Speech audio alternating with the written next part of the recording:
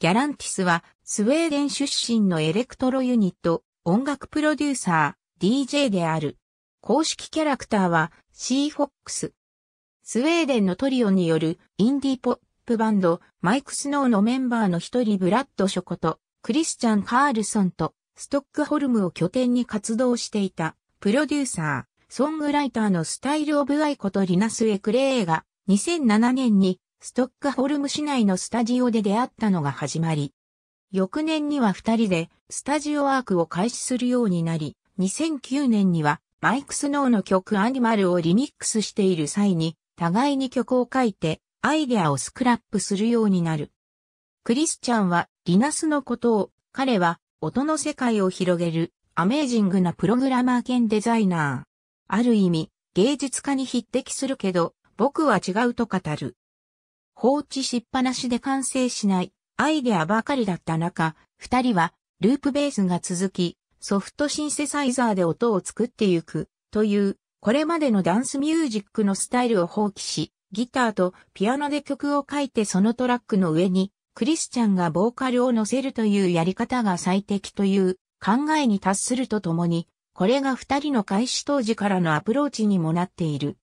クリスチャンは、ある程度、ラフな感じで曲を仕上げ、目的に応じて人が服を着るように、サウンドを乗せていくんだという風に語っている。ワーナーミュージック参加のビッグ、ビートレコードと契約を交わし、スウェーデンとフィンランドのアイダバルト海の中の群島に、あるスタジオでレコーディングを開始。先行シングルとして、スマイルを発表。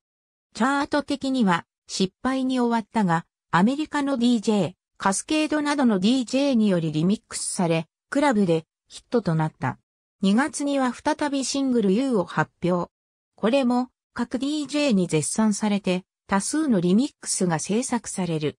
同年4月1日には初の EP を発表するとともに、カリフォルニア州インディオにて開催される大型音楽、フェス、コーチェラフェスティバルにも出演。同年10月には初のアルバム、ファルマシアに先駆けて先行シングルラナウェイを発表。この曲はイギリス・オーストラリアで4位、オランダで3位、ベルギーで6位を記録するヒットとなっている。また、日本でも2015年6月24日にアルバム、ファルマシアでデビューするとともに、7月下旬に開催された、フジロックフェスティバル2日目のトライバルサーカスステージに出演した。4月にノーマネー、9月にはラブオンメがリリースされた。9月にお台場で開催されたウルトラジャパン2日目のメインステージに出演した。スマイルユーラナワイゴールドダスト、ピーナットバタージェリーインマイヘッドラウダー、ハーダーベターノーマネーラブオンメハンター。ありがとうございます。